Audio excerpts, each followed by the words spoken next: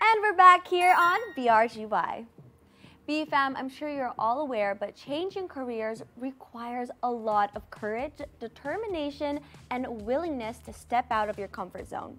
It can also be such a rewarding and fulfilling experience that introduces more opportunities for personal growth. Tulad na lang nitong Global Pinoy natin from Pittsburgh, Pennsylvania na from being a paralegal ay nahanap ang kanyang passion in cooking. Paano nga ba siya nagpakatotoo sa sarili sa journey na ito? Here is today's IRL.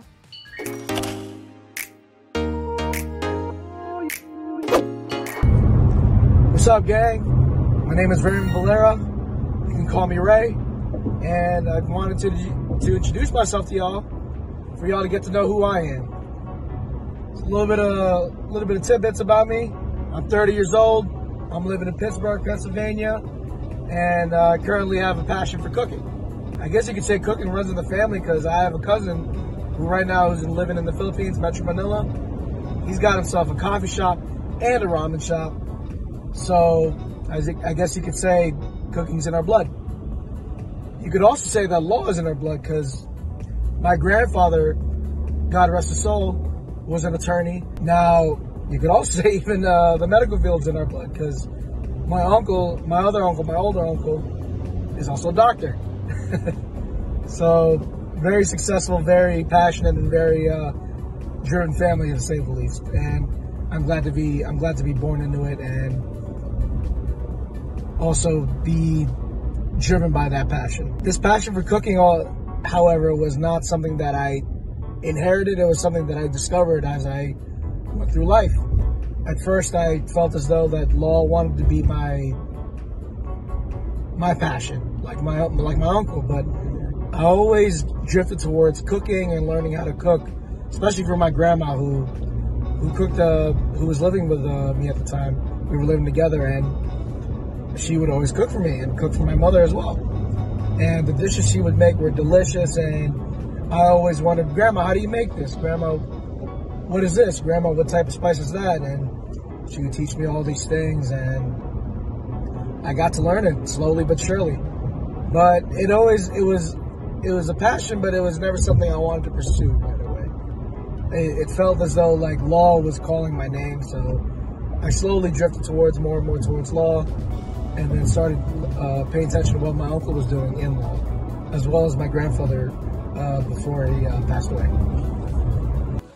I had one clear goal in mind when I entered college as an undergrad, and that was to become a lawyer. And in order to do that, I decided to follow my uncle's footsteps and become a philosophy major. And along with trying to prepare for law school and the like, I found that philosophy in itself is a very challenging major.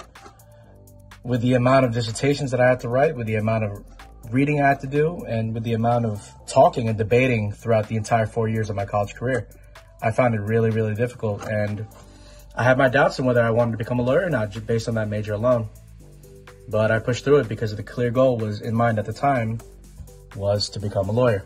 So even when I was in the legal field, I always had a passion for cooking, whether as a hobby or whether I had downtime, I'd always try to cook something or even even watch as many cooking videos as I possibly could. So now here I am as a secondary chef, hoping to become a sous chef in the near future and eventually open my own restaurant. Now, I chose this career because again, I, I had a passion for cooking. I wasn't very good at it, but I wanted to keep at it, learning, and this is the best way I could do it without having to go to school yet.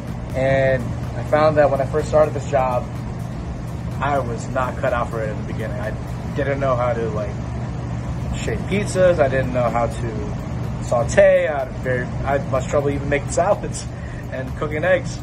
And that was a really tough part of my life as, as well as in my career because about two months in, they wanted they wanted me gone, and I couldn't do much other than to keep at it, get better, get better, get better each day.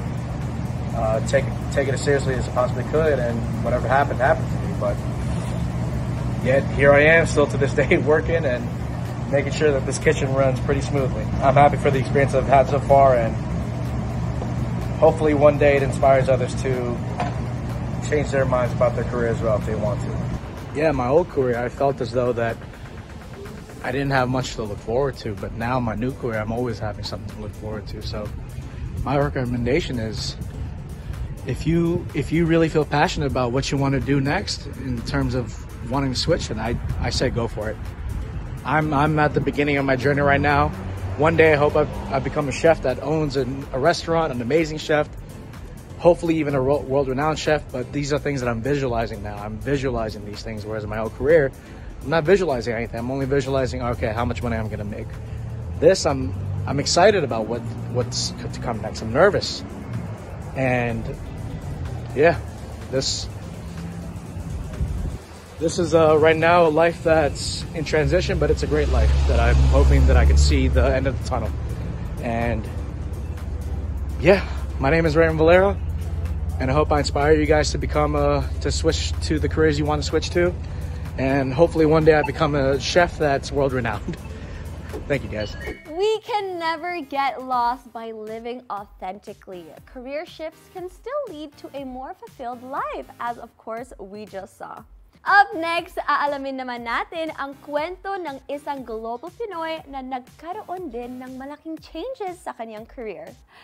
Pakinggan natin ang kwento niya when PRGY returns. Hanggang sa panaginip